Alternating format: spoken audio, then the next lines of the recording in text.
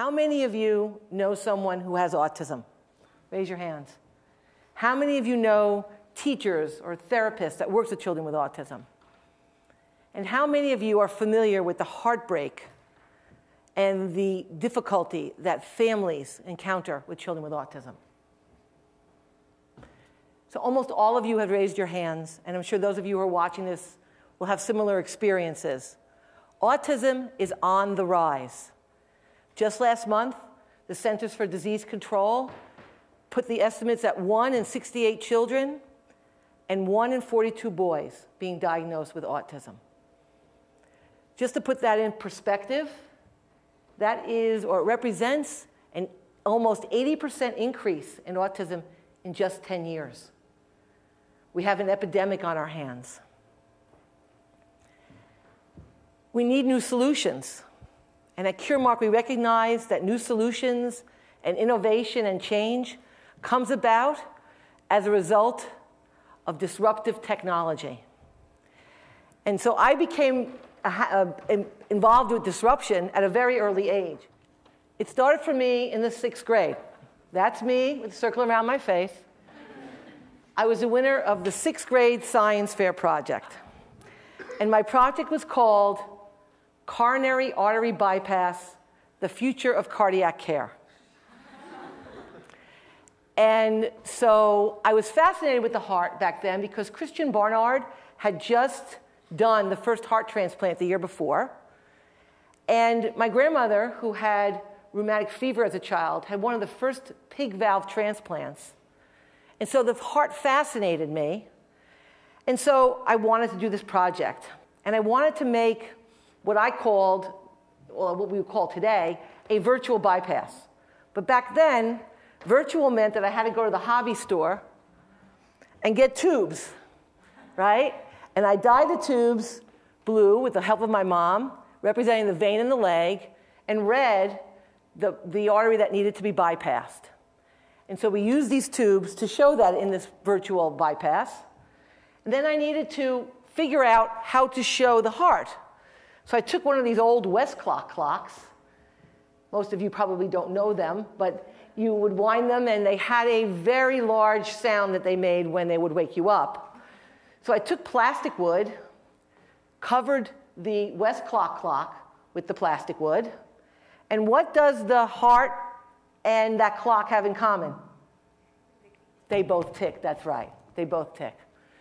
So back then in my sixth grade mind, I thought, how interesting, how amazing that you can take a tube and go around another tube, almost like going around a traffic jam, and have something important for people. Prior to the bypass, people either died or they were permanently disabled with multiple heart attacks. And so I thought, wow, isn't this really cool that this will change things?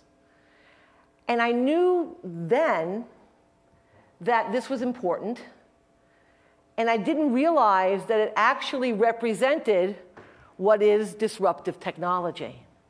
It would be called that today if we found the bypass today. And why is that? Because it's novel, because it solves a problem, because it's enduring, and it improves people's lives simply and elegantly. So now let's fast forward to the 1990s. I'm in practice. I am seeing children and parents, and a troubling trend emerged. And that trend was children coming into my office who were five years old who didn't speak, who were nine years old and weren't potty trained, who were six years old and never played a game with another child.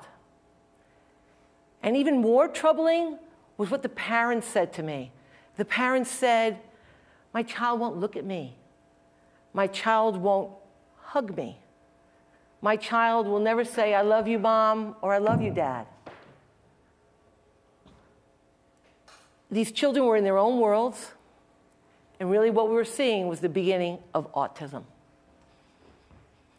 And so I thought, okay, I'm seeing these children, Nothing seems to be working that other doctors are doing. I need to find something. See if I can find a pattern, something about them that maybe would give us a clue or give me a clue about what was going on for them. So I looked for patterns, as I do often, and found none. In fact, the hallmark was that there weren't patterns. So, for example, a core symptom of autism is speech deficit. So I looked at speech, and some children don't speak at all, and some children speak a little bit or intermittently. Some recite whole passages to, to books and videos. And so I was amazed at the lack of pattern. But what emerged even further was what the parents would say to me. Beyond their heartbreaking uh, vision or the heartbreaking understanding of the child not speaking or talking or looking at them, they also talked about what they ate, which I found to be really curious because the parents described it as a white food diet, a tan food diet, soft food diet. But the reality was, when I really looked at it, it was a diet that was high in carbohydrate and very low in protein. And so that intrigued me. It became a curious thing. So I thought, well, you know what? Maybe there's a physiological basis here. Everyone's thinking about behavior, but maybe there's something physiological. So I started doing blood and urine and stool tests on these kids and found something really interesting that the first nine children I did all had low levels of an enzyme called chymotrypsin, which digests protein. So then I did more testing. And even as I did more testing, I looked at this. So here you have the first group of kids that I did with autism, without autism. The red dots represent children without autism, and the blue dots with autism. 10 is the dividing line.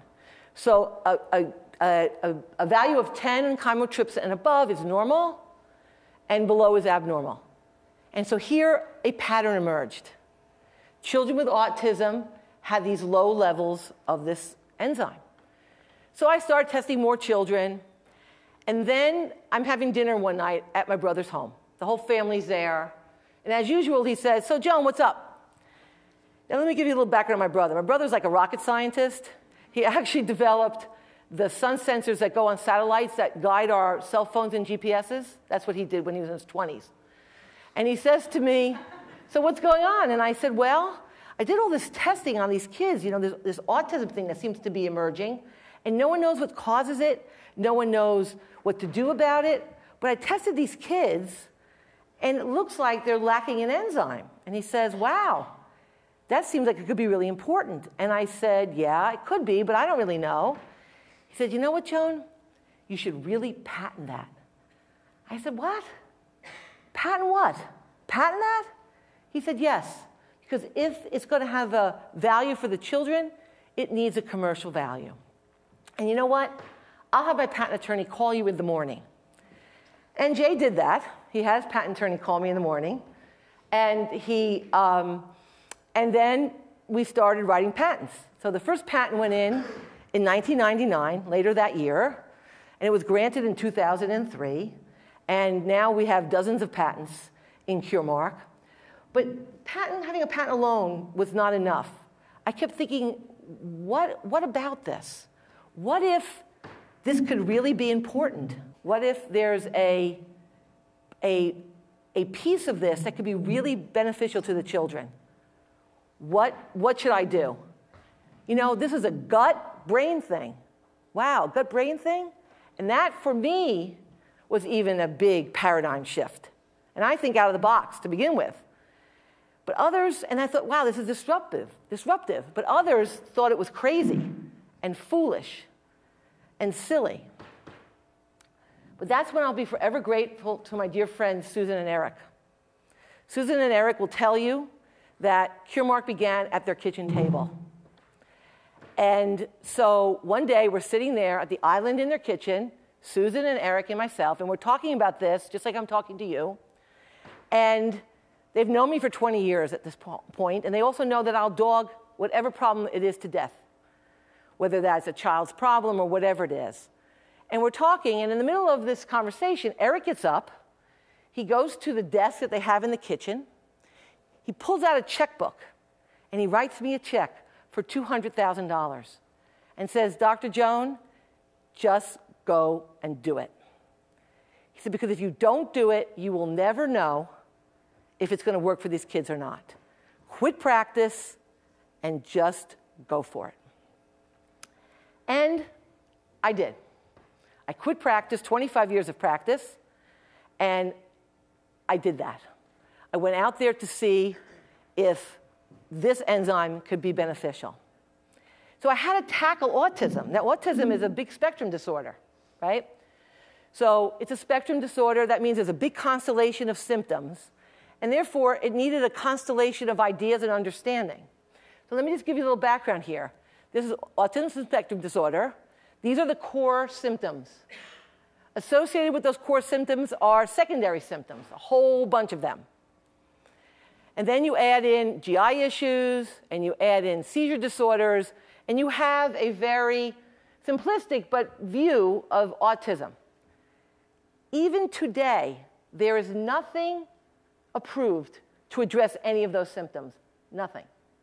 The only thing that's approved is something for irritability that results in this, and they're antipsychotics, and they don't address autism.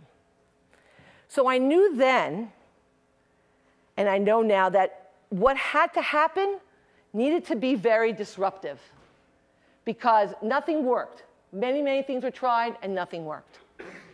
And so when you think about disruption, you think about Silicon Valley. Disruptive is Silicon Valley's middle name, right? So any even fleeting idea that they have, people throw money at it. Uh, they want to do IPOs. They want to do all these things. And why is that? Because it's quick to market, right? It's easy to do, perhaps, and your return on investment is great. In life sciences, where clinical trials and FDA and all the rest of those things come into play, you have to publish and all the rest of that, mm, nobody's throwing money at that. It's not happening. Silicon Valley, everything gets pushed forward, and in the life sciences, everything is pushed back. So it's a very hard place to be. So where's Curemark today? Well, Curemark has been fast tracked by FDA, which means that we have a product that has a high likelihood of being approved and meets a very large unmet medical need. Secondly, we've raised over $50 million in the absence of venture capital and we performed the holy grail of clinical trials a double blind, randomized, placebo controlled trial of children with autism. And we met our clinical endpoints, and that's all good. And now we're in the process of submitting our new drug application, a pre application under the fast track program. We've made great progress, great, great progress in terms of getting this forward. Thank you.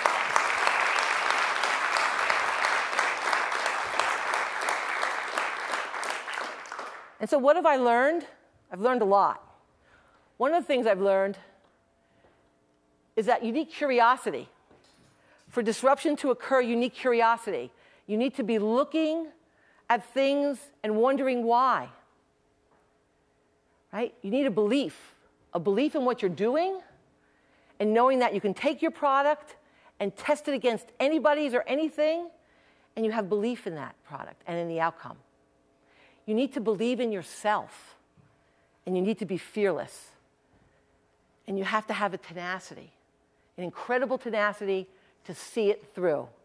Because without these three pieces, you cannot disrupt the status quo. Indeed, Curemark has disrupted the status quo in many areas, but three main ones. One is in drug discovery and development. We looked at patients and their needs. We developed a drug to meet those needs.